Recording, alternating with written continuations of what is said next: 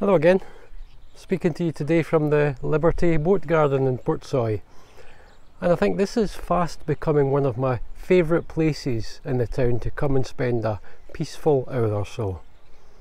Not that it's always all that quiet. There's the ever present sound of the seagulls overhead usually, and they're quite quiet today.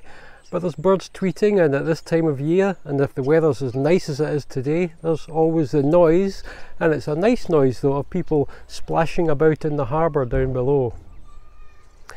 And I think I like it best here because it's such a sheltered spot, unless the wind's blowing from the west, that is.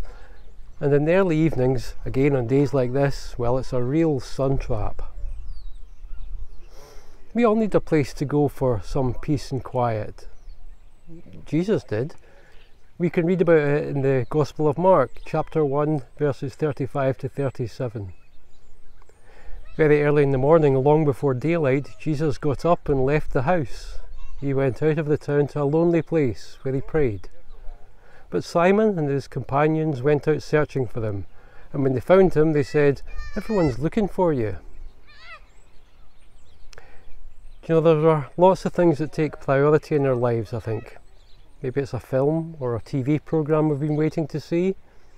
It might be a holiday, or maybe it's an event or a concert that we want to go to. Not that that's been happening too much over the past year and a half, right enough. Maybe it's a shopping trip for essentials or just for some retail therapy. And sometimes, well, less pleasant things take priority, like an illness or a tragedy in their lives.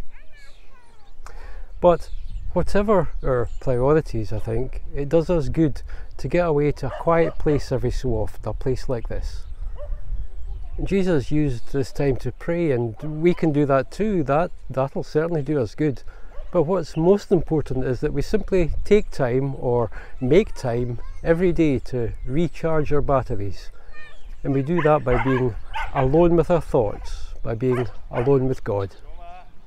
And that's just what I'm going to do now. I might be here for a while.